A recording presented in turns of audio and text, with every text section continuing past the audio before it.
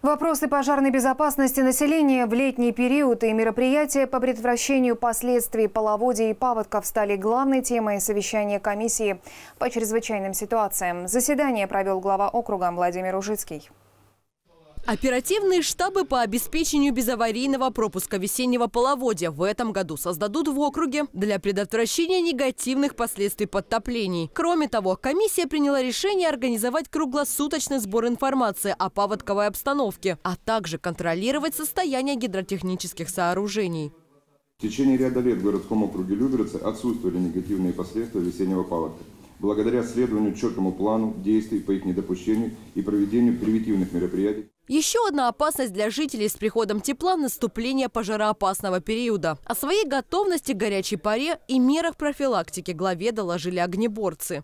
До введения особого противопожарного режима, который планируется ввести на территории Московской области 15 апреля, необходимо обеспечить реализацию предусмотренных правилами противопожарного режима мероприятий по очистке от сухой травянистой растительности, мусора и других материалов. В завершении заседания глава Люберец отметил, что городской округ готов к нештатным ситуациям в течение всего паводкового периода, благодаря предложенному ряду мер. Анна Троян, Валерий Абсалямов и Сергей Гвоздев, телеканал ЛРТ.